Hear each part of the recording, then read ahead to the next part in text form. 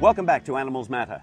Our next guest requires very little, if any, introduction. Helen speaks to veteran duck rescuer Laurie Levy about his campaign to ban duck shooting. Laurie, you're well known for your campaign to ban duck shooting. Can you tell us how it all began? I just thought that the shooting of native water birds was a terrible injustice.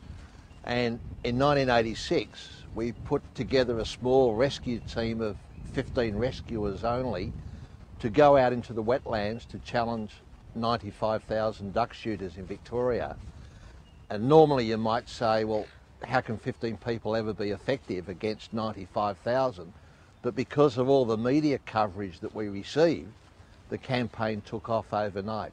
Each year, your rescuers go out into the wetlands rescuing birds and retrieving sick and injured birds. Can you give us a picture of what it's like out there for them? Well, when we first started going out onto the wetlands, it was like World War III. You didn't have any police out there. Uh, wildlife officers were more closely aligned with the shooters in those days. That's changed now. However, it was like World War III.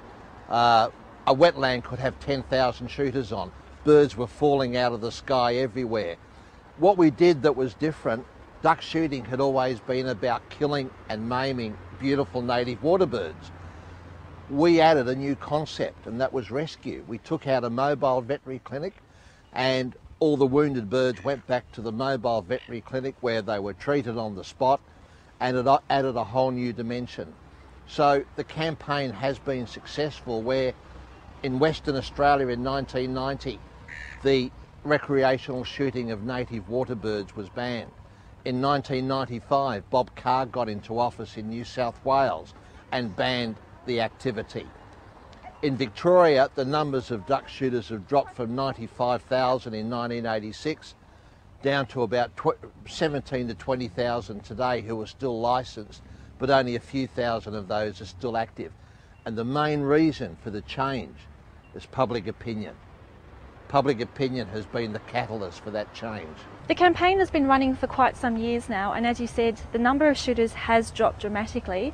So, why is it that the Victorian government continues to announce an open season each year?